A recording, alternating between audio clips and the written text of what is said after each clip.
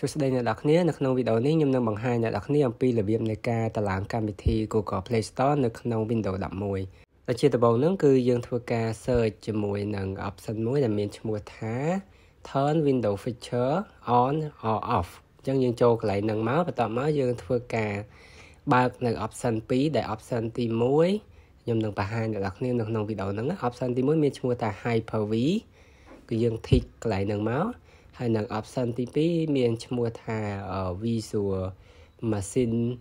អឺខ្ញុំអានតែខាងមុខទេខាងក្រោយខ្ញុំភ្លេចហ្នឹងហើយអញ្ចឹងយើងបើក option ទាំងពីរហ្នឹងទៅហើយបន្ទាប់មកយើងធ្វើការ OK ហើយយើងចាំវាប្រហែលជា1នាទីបន្ទាប់ពីវាធ្វើការ apply setting ហ្នឹងហើយវាសួរយើងឲ្យ restart ឬក៏អត់ទេខ្ញុំ recommend អ្នកនរគ្នាធ្វើការ restart Windows មួយទៅបន្ទាប់មកអ្នកនរគ្នាចូលទៅកាន់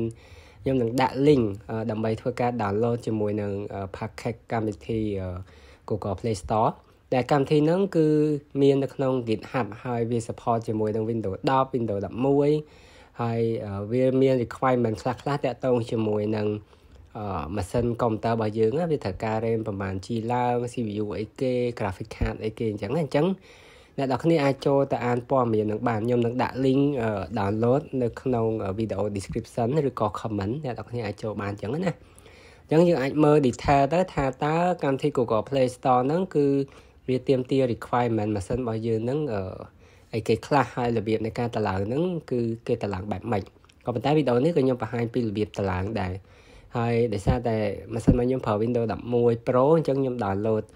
យក Windows 11កន្លែង option ហ្នឹងហើយយើងយកខាងលើនេះ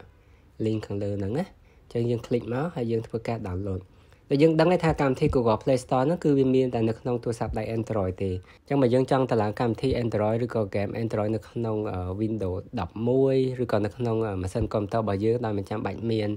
ជាមួយនឹងទូរស័ព្ទ Android គឺអ្នកនរគ្នាអាចធ្វើតាមអ្វីដែលខ្ញុំបង្ហាញនឹងបានចាឥឡូវយើង download ហើយយើងធ្វើការ extract បន្តមកយើងចូលទៅកាន់ folder ហ្នឹងហើយស្វែងរកនៅ file មួយដែលមានឈ្មោះថា run ហើយពេលដែលយើងឃើញហើយយើងគ្រាន់តែ double click នៅលើ file run ហ្នឹងទៅវានឹងលើកផ្ទាំង terminal មកហើយហើយបន្ទាប់មកវានឹងដំណើរការ install ឲ្យយើងហើយអញ្ចឹងនៅពេលហ្នឹងគឺយើងរងចាំបន្តិចទៅអឺ ខ្ញុំចង់បញ្ជាក់នៅក្នុងវីដេអូនឹងបន្តិចរាល់វីដេអូដែលខ្ញុំបង្ហាញពី tutorial ឬក៏ tip ខ្លីៗតាក់ទងជាមួយនឹង Windows ឬក៏កម្មវិធីផ្សេងផ្សេងពេលខ្លះគឺខ្ញុំអត់សូវបានបញ្ជាក់ឬក៏បញ្យល់បានច្បាស់លាស់ទេដោយសារតែរយៈពេលវីដេអូគឺខ្ញុំចង់ឲ្យខ្លីម្យ៉ាងខ្ញុំអត់ចង់ detail ច្បាស់ទេខ្ញុំចង់ឲ្យអ្នកនរគ្នារៀនស្វែងយល់ឬក៏ស្រាវជ្រាវដោយខ្លួនឯងខ្ញុំគ្រាន់តែប្រាប់ពីវិធីឬក៏ផ្លូវឬក៏ link ដែលយើងអាចចូលទៅស្រាវជ្រាវក៏ដូចជា download យកមកតឡើងដោយខ្លួនឯងបានអញ្ចឹងណាអូខេអញ្ចឹងកន្លែងនេះខ្ញុំចង់បង្ហាញពី setting នៃកម្មវិធីនឹងតិចគឺវាមាន setting ដែលយើងអាចធ្វើការជ្រើសរើសឬក៏កំណត់ដើម្បី optimize ជាមួយនឹងម៉ាស៊ីនរបស់យើងឲ្យត្រូវជាមួយនឹងកម្មវិធី Google Play Store ដោយសារតែកម្មវិធី Google Play Store គឺវាមាន តែនៅលើទូរស័ព្ទដៃ Android ឥឡូវយើងយកមកដាក់នៅក្នុងកុំព្យូទ័រចឹង architecture hardware គឺវាខុសគ្នាក៏ប៉ុន្តែយើងអាចធ្វើការកំណត់ឲ្យវាមានដំណើរការល្អអញ្ចឹងណាឬក៏ដំណើរការ smooth ចឹងកន្លែង setting ហ្នឹងគឺចូលទៅមើលខ្លួនឯងទៅហើយកំណត់ទៅតាមម៉ាស៊ីន spec ដែលយើងមានហ្នឹងតទៅយើងតម្លើងហើយគឺយើងអាចចុច start ស្វែងរកនៅកម្មវិធីវាដាក់ឈ្មោះថា Google Play Store ហើយបន្ទាប់មកវាទៀមទីឲ្យយើងធ្វើការ lock ជាមួយនឹង Gmail របស់យើងអញ្ចឹងយើង lock ចូលទៅ បន្ទាប់ពីយើង lock ចូលហើយ គឺវានឹងចេញផ្ទាំងអឺ Google Play Store ដូចនៅក្នុងទូរស័ព្ទដៃយើងអញ្ចឹងឃើញទេអញ្ចឹងរាល់កម្មវិធីនៅក្នុងនឹងទាំងអស់គឺសម្រាប់កម្មវិធីដែលមាននៅក្នុង Google Play Store ឬក៏នៅក្នុងទូរស័ព្ទដៃ Android ប៉ុន្តែយើងអាចធ្វើការតម្លើងនៅក្នុង